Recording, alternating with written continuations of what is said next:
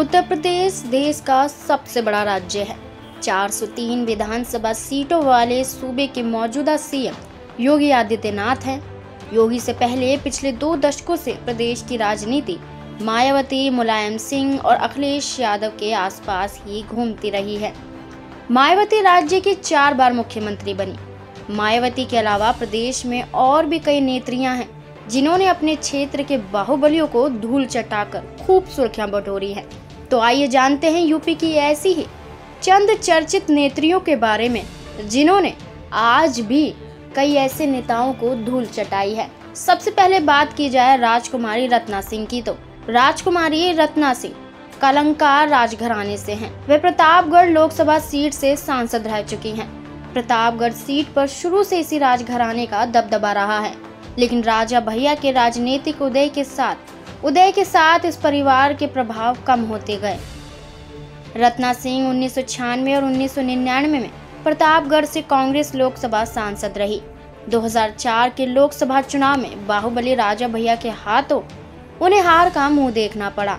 दरअसल राजा भैया के बेहद करीबी अक्षय प्रताप सिंह ने राजकुमारी रत्ना सिंह को हरा दिया था, लेकिन राजकुमारी ने हार नहीं मानी और 2009 में उन्होंने फिर से वापसी की। उन्होंने इस चुनाव में राजा भैया के करीबी को करारी शिकत दी। दूसरा पूजा पाल पूजा पाल बसपा का चर्चित नाम है। उनके पति राजू पाल भी बीएसपी विधायक थे। उनकी हत्या कर दी गई थी।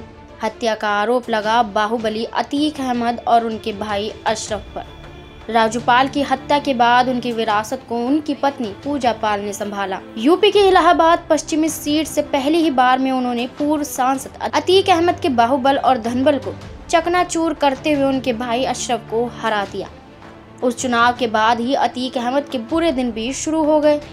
पूजा पाल ने शहर पश्चिमी से अतीक अहमद के तिलिसिम को खत्म कर दिया। तीसरा राम लल्ली मिश्रा। रामलली मिश्रा जेल में बंद विधायक विजय मिश्रा की पत्नी हैं। वो अब यूपी की सियासत का जाना माना नाम बन चुकी हैं। 2016 के एमएलसी चुनाव में उन्होंने बाहुबली विनीत सिंह के भाई को करारी हार दी थी। विनीत सिंह ने इस सीट को जीतने के लिए एड़ी चोटी का ज़ोर लगा दिया था, लेकिन फिर भी वो अपने भाई को जिता नहीं पाए थे। चौथा अलका राय।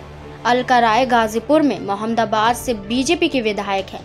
उनके पति कृष्णानंद राय की सरेआम निरशंस हत्या कर दी गई थी। हत्या का आरोप लगा सजाफ्ता डॉन मुख्तार अंसारी पर। पति की मौत के बाद अलका राजनीति में आई और मुख्तार के भाई, जो मोहम्मदाबाद से विधायक भी थे, उन्हें पटखनी दी। अब इस सीट पर अलका राय का ही दबदबा है। Subscribe to our YouTube channel and press the bell icon to get the latest updates.